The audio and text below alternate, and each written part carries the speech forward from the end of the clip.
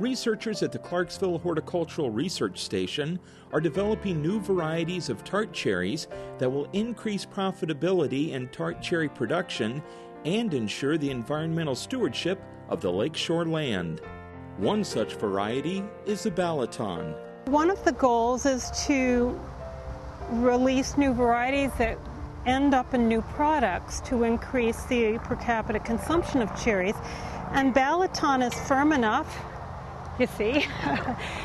it can be sold fresh. It looks really nice in glass pack because it holds its shape.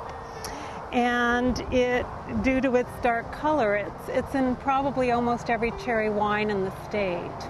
Montmorency type cherries are also being developed. This is a breeding selection that's resistant to cherry leaf spot, yet brings a little bit of natural color. So it would show a little less bruising and um, also have the fire engine red that we expect of Montmorency.